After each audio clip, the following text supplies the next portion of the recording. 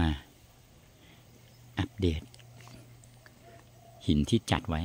นี่นะ ที่ผมมาจัดสวนเนี่ยอันนี้ต้นมอน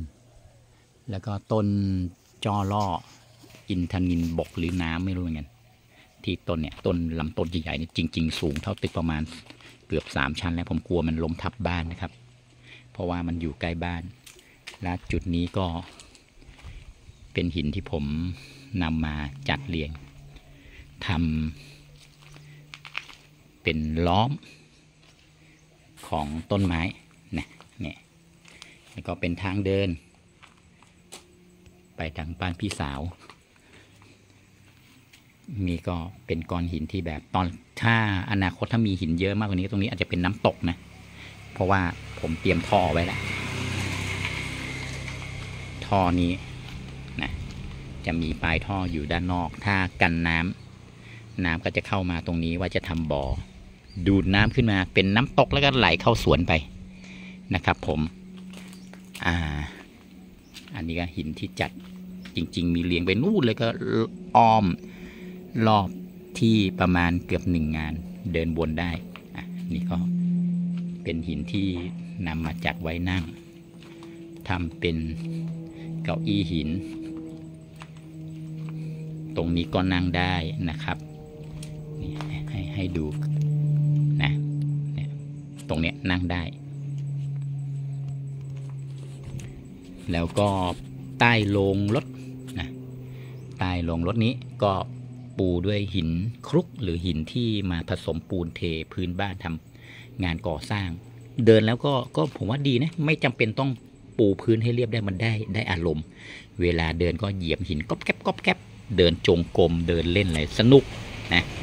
ส่วนตรงนี้ก็ตรงนี้ก็เป็นทางไปบ่อน้ำตรงนี้ก็ผมขยายทางขึ้นมานะครับ เพื่อจะไปบ้านพี่สาว ตอนแรกต้นนี้ต้นชาทอง ถ้าจำไม่ผิดนะ ใบเหลืองๆ คงไม่ใช่ชาหกเกี้ยน มันอยู่ตรงนี้มันอยู่ตรงนี้ขวางทางติดทางเดินทางเดินแคบ ผมก็เลยขุดออกขยับไปอยู่ตรงนู้น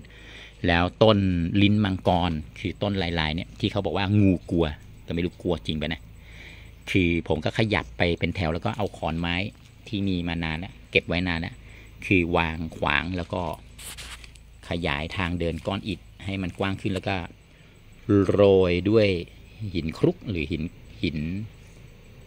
เขาเรียกว่าหินแกรนิตน่าจะหินแกรนิตนะถ้าจำไม่ผิดนะที่เขาระเบิดมาจากภูเขาหินแกรนิต เนี่ยนะพวกเนี้ยพวกเนี้ยนะพวกเนี้ยหินแกรนิตนะครับเนี่ยสีออกฟ้าฟ้าๆเนี่ยนะตอนนี้ก็ทำทางเดินนี่เดินสบายไปบ้านพี่สาวเล็กๆทางนู้น นี่ก็เอาหินมาเรียง หลักการก็คือ คือข้างข้างบนเนี่ย ผมถมด้วยดินเนี่ยหลักการก็คือไม่ให้ดินเวลาโดนฝนมันเหลวเป๋วลงมานะครับ ผมนะส่วนทางเดินนี้ก็ ถ้าฝนตกมันจะมีส่วนที่สูงเราก็เหยียบข้ามได้ ถ้าหินเราไม่พอบางครั้งก็เป็นธรรมชาติไงมันไม่จำเป็นต้องแบบเรียบเรียบไปทุกจุด อันนี้ให้ไอเดียแนวคิดในการจัดสวนนะ แล้วก็มีหินเป็นก้อนๆบางเนี่ย เราก็วางข้างขวาข้างซ้ายประดับสวนอะเดี๋ยวพาไปดูนะ นี่ แล้วก็ทำทางเดินแบบมีทางแยกมาสองทาง มีวงกลมไว้เดินเล่น สวนคนมาหลายคนก็เดินขวาคนหนึงเดินซ้ายคนหนึงนะครับ เดี๋ยวผมพามาทางนี้ก่อนเนี่ยเห็นไหมเห็นไหมเนี่ยนะเนี่ยประมาณนี้นะอ่าเห็นไหมสวยไหมใต้ลงรถ ส่วนต้นนี้ก็ต้นไผ่น้ำเต้านะครับไผ่น้ำเต้าร่มครึ้มไผ่น้ำเต้านี่ผมแนะนำนะ อ่าวันนี้มาคุยเรื่องแนะนำการจัดสวนเล็ก ๆ นะครับสวนตรงนี้ก็ต้นลิ้นจี่จักรพรรดินะครับปลูกหลายปีไม่ค่อยได้บำรุงไผ่น้ำเต้าเนี่ยผมแนะนำเพราะว่ามันให้ร่มเงาดีสุดๆ แล้วก็เป็นต้นที่น่ารัก แต่จำไว้นะ ใบไผ่ทุกชนิดอย่าไปจับรูดนะ ปลายไผ่เปรียบดั่งใบมีดโกนดีๆ นั่นเองมีความคมนะครับ เนี่ยมันน่ารักคือว่าเราสามารถตัดแต่งเนี่ย ตัดกิ่งไม่ยากด้วยแล้วใบมันจะเป็นเหมือนลูกน้ำเต้า เนี่ยเห็นไหมเหมือนลูกน้ำเต้าน่ารัก แล้วก็ให้ร่มเงาครึ้มปลูกปีสองปีก็ครึ้มแล้ว แล้วก็บังเงาดีมาก ส่วนนี้ เห็นไหมต้นนี้ เนี่ยไผ่น้ำเต้าเนี่ย ผมขอเพื่อนบ้านเนี่ย มาแบบต้นใหญ่ๆเลย ขุดลากลงลึกหน่อย แล้วก็ฝังดินสักห้าสิบเซนนะครับ แล้วก็ลดน้ำชำๆลดทั้งวันทั้งคืนไปเลยในช่วงต้นมันชอบน้ำไม่ตายแล้วก็งอกผลีใบเห็นไหมมาทั้งต้นเลยไหมแต่ไปขุดมาก็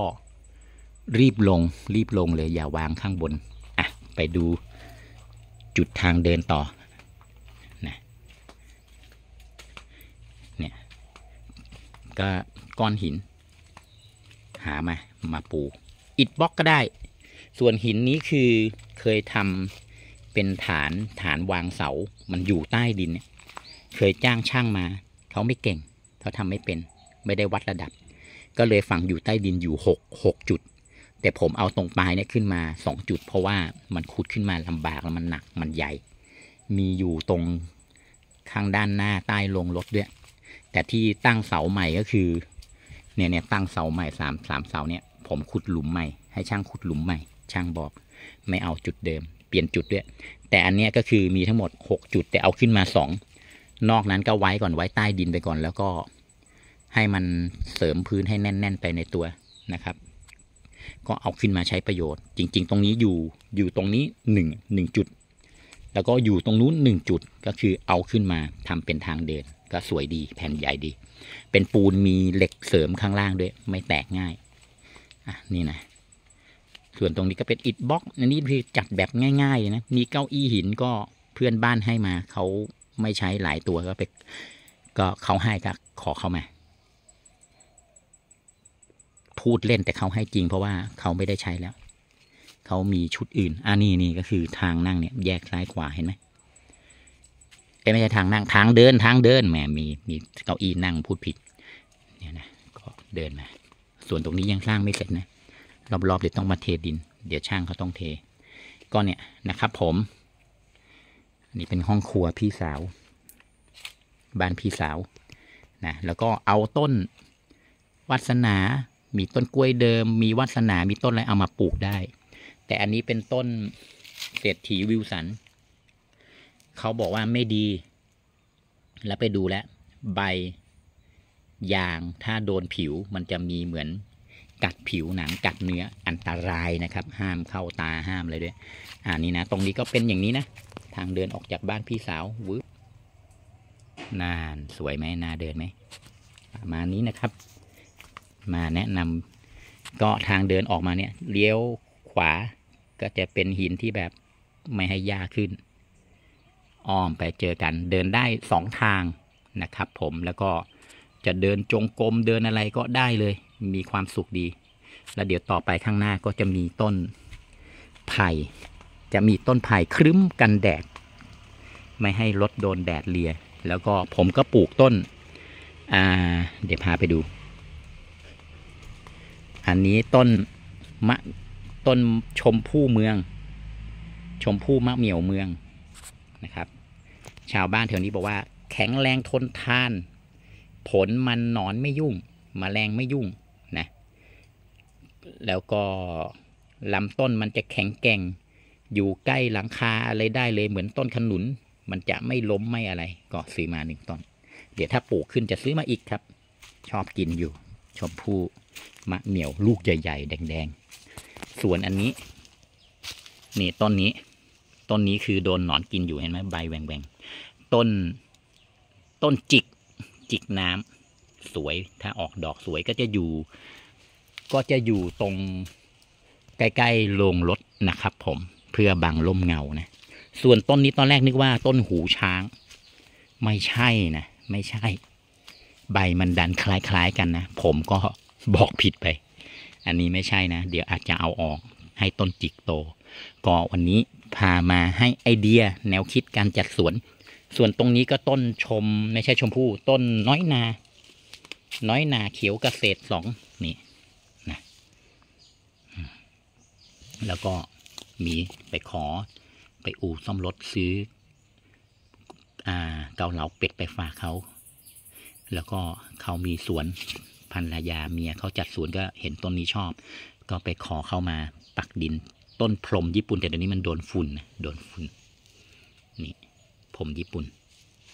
นะครับ ก็ไอเดียจัดสวนนะ เล็ก ๆ น้อย ๆ มาแนะนำกันนะครับ ง่าย ๆ ไม่ต้องอะไรเยอะทำ ในสิ่งที่มีมีในสิ่งที่ทำแค่นี้ก็มีความสุขแล้วครับผมอยู่ให้มีความสุขอยู่ท่ามกลางธรรมชาติ ที่นี่อำเภอแม่แตงจังหวัดเชียงใหม่ ใกล้เขื่อนแม่งัดสมบูรณ์ชน 5 กิโล สวัสดีครับ